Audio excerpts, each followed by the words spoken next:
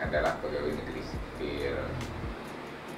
Pegawai negeri sipil yang dulu kan masih beliau kan uh, istilahnya bagian kebersihan gitu loh. Memang sih orang bawah kan gitu lah.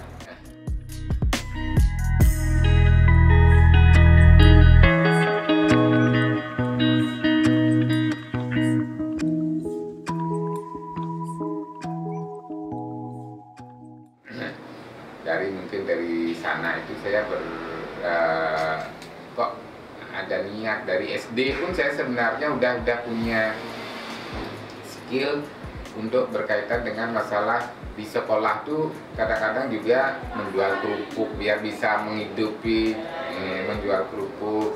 Ya istilahnya kan dulu tuh kan bawa kerupuk sepanjang segini Ah, tuh. iya. ya dicatat di bon kepada siapa teman catat catat catat catat biar dapat gitu loh ya dapat Iya. duit gitu loh ya kan itu gitu loh.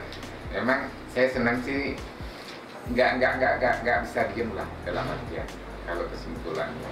Saya orangnya memang senangnya bekerja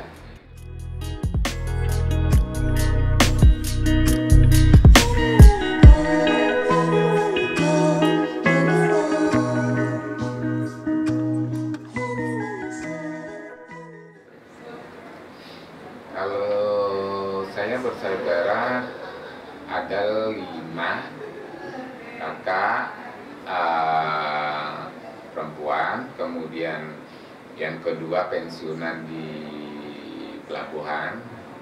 Mm, Padangbaik, kemudian saya sendiri, kemudian adik di dulu kan pernah di salah satu hotel bintang lima di Nusa Dua. Sekarang kan dengan situasi seperti sekarang kan di ya diarus kan dia harus berhenti kan gitu. Ya, sekarang dia masih sih di Nusa Dua tapi cari sampingan-sampingan lain kan gitu. Kemudian ada adik cewek lagi nikah di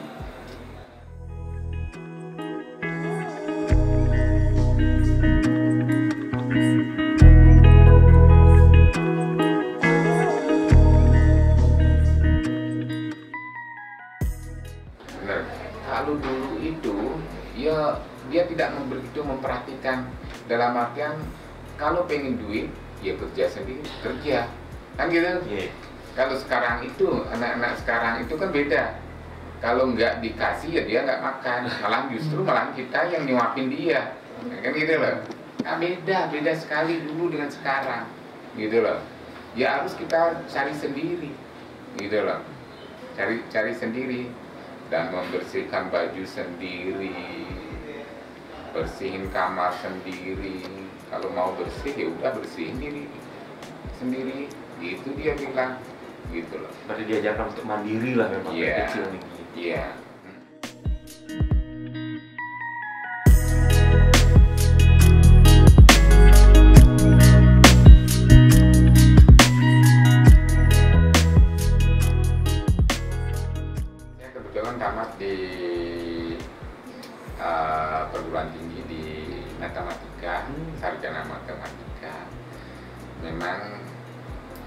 kan punya motivasi sebelum tamat pun saya sebelum lulus pun saya udah langsung bekerja di salah satu perusahaan di insuran asuransi. Asuransi. Mm. Saya sebagai seorang sales, saya punya waktu, punya komitmen pokoknya bagaimana kita bisa menghasilkan sendiri kan gitu loh. Memang pada saat saya awal bekerja di insuran ah, itu saya tiga bulan ini harus saya punya saya nggak ada motor. Waktu itu memang nebeng sama temuan. Hmm, terus terang nggak ada motor. Kemudian tiga bulan pertama saya harus memiliki motor. Tiga bulan berikutnya saya memiliki motor. Sehingga kemudian saat enam bulan berikutnya saya harus memiliki mobil. Waktu itu kan Hmm. tahun 9394 gitu.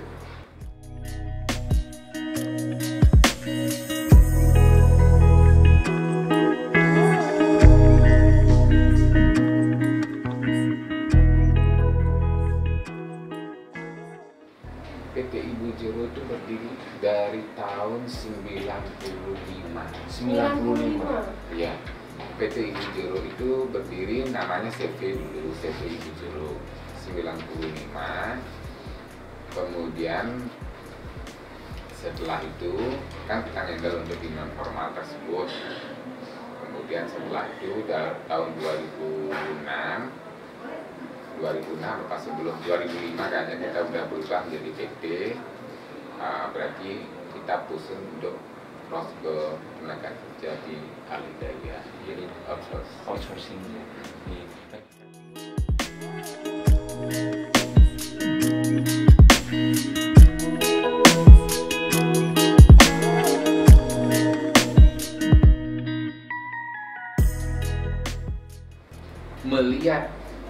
Penghasilan di sana cukup bagus saya kan pengen mengembangkan yang lebih. Iya. akhirnya saya membuka suatu link bisnis coba iseng-iseng. Saya dengar dari radio dari buka radio kok kayaknya bisnis ini bagus. Saya bukalah bisnis pertama kali di kampung. Di kampung. Di kampung itu dasar di desa saya di Beijing Hmm. Saya buka bisnis yang penting cari uh, nomor uh, telepon, telepon, kemudian kita uh, melalui media umumkan.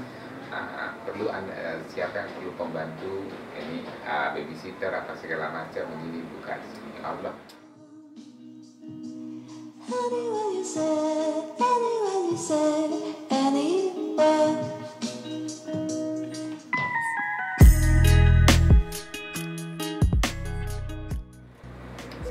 saya limpahkan kepada uh, ibu kan punya usaha kasur. Saya suruh uh, marketing kasur tersebut untuk mencari uh, pembantu ke di sekitaran Bali terutama di Karangasem, di Bangli kan gitu loh. Memang kan orang-orang dulu kan dari sana kan ikutnya Karangasem, Bangli, Singaraja kan gitu loh kan itu kemudian dapat satu langsung terkirim berapa langsung. Ih kok bagus banget prospeknya kan gitu lah. Bagus banget prospeknya. Akhirnya saya sendiri terjun. Saya sendiri terjun keliling sampai ke Lombok NTB kemudian ke Jawa kemudian ke NTB nah pada saat itu ada tenaga pemesanannya banyak yang minta ampun Nah,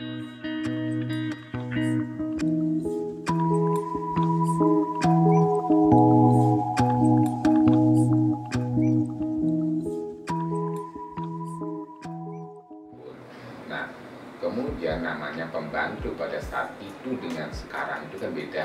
Kalau saat itu masih niat kerjanya itu tinggi dia. Tetapi sekarang ini niat kerjanya itu berubah. Orang sudah kerja apalagi kenal dengan uh, media seperti ini, handphone kan kayak gini nih dipengaruhi orang itu gampang kan gitu loh. Nah,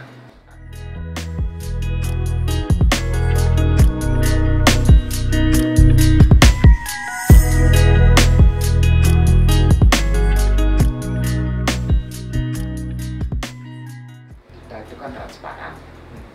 Transparan. Kita merekrut tenaga kerja tersebut tidak ada pungutan biaya sepeser pun Pada saat perekrutan ini. iya kita nggak ada mengungut biaya sepeser pun.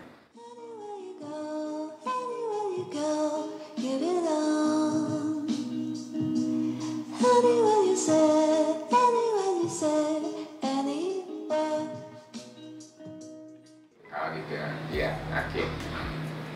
Kalau saya sih pada prinsipnya pertama, saya yang penting komitmen untuk pembayaran di gaji, pembayaran di THR. Ya, nah kadang-kadang kan saya sih nggak menjelekkan yang lain, itu mungkin nggak mau mengatakan ini kurang pas atau segala macam. Yang penting prinsipnya kita nilai lebih yang kita lakukan adalah pertama kita nggak ada pungutan, kemudian kita membayar gaji juga on time, kemudian BPJS kita alur, alur, eh, arahkan ke pihak BPJS, kan gitu. Kalau terjadi misalnya risiko kepada dia kan harus kita bayar. Masa harus perusahaan PT yang bayar? Nggak mungkin kan gitu loh. Itu akan terjadi seperti itu gitu loh.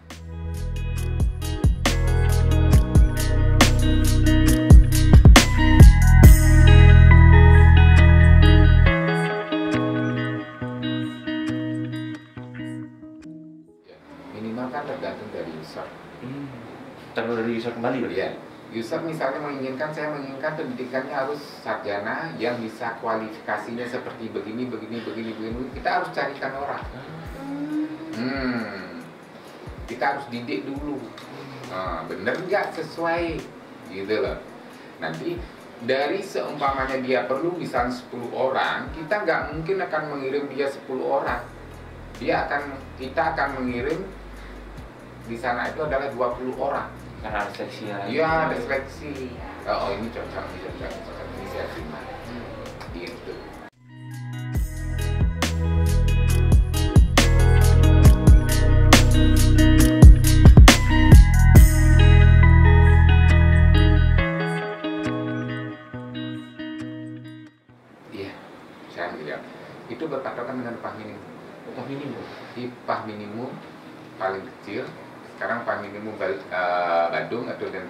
mungkin kita nempatkan atau Negara atau mungkin Karangasem kita nempatkan misalnya berapa dari upah minimumnya standarnya sekian. Kalau memang dia di luar daripada itu kurang daripada itu mungkin kita akan cross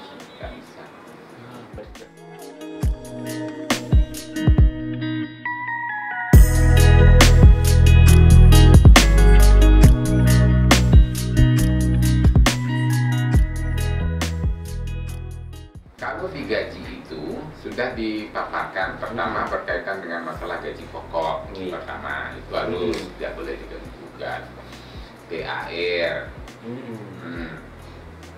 Kemudian ada kalau seumpamanya mungkin diperlukan pembinaan harus perlu dibina tenaga pembinaan dari ya tim kita yang akan membina kontrol untuk memberikan suatu mungkin kurang pas tiap enam bulan atau tiga bulan atau sebulan mungkin diberikan pembinaan itu ada uang pembinaan kemudian seragam Berarti sudah lengkap nih Lengkap. kebutuhannya. kemudian BPJS ketenaga kerjaan BPJS itu kan ada Betul. Ah, Ada ada ada kerja, ada kesehatan. ada kesehatan hari tua, Betul. ada uang kompensasi juga, kan gitu loh.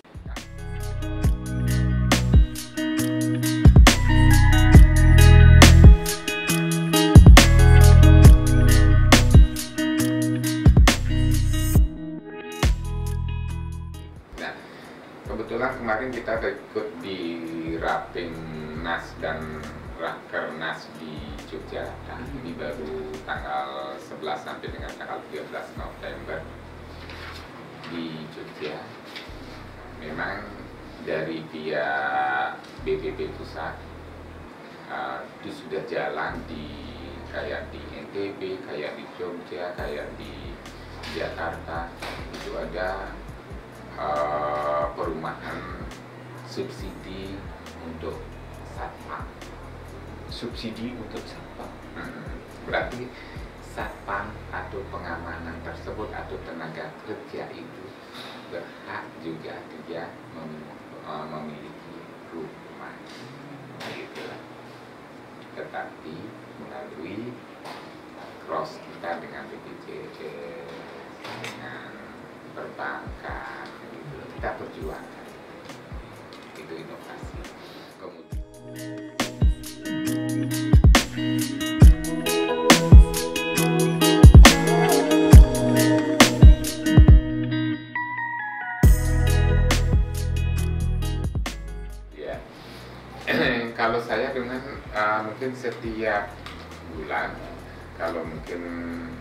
sebelumnya sebelum pandemi kita mungkin rutin mengadakan kunjungan uh, me- tirta yatra ya, Iya. Kita ya terus. ya tirta yatra dengan staff. Kayak kemarin itu ulang tahun kantor kita ke Pulau Rambut Sedano mendoakanlah bumi Bali ini kembali normal. Iya, kan gitu kan. Iya, Nah, Tuhan. kemudian kita ada kunjungan juga ke panti asuhan Berarti Ya, tetap juga berbagi dengan berbagi ya, rencana nanti di akhir tahun ini kita ada ada juga kan gitu. itu memang harus kita terapkan juga memberikan uh, prestasi juga kepada staf atau karyawan kita yang memang betul-betul kinerjanya bagus dan memberikan kontribusi bagus kepada perusahaan.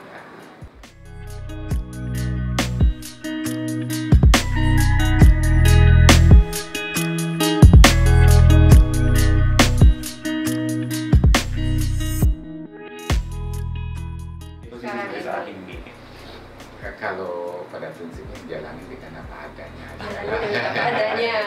jalani apa adanya yang penting sesuai dengan alur Hmm. nggak usah melenceng nggak usah berlebih-lebihan kan gitu loh kan gitu loh nah, ya ya apa adanya lah kan gitu loh nggak nggak nggak usah neko-neko aja lah jadi orang kan gitu loh kan gitu Iya.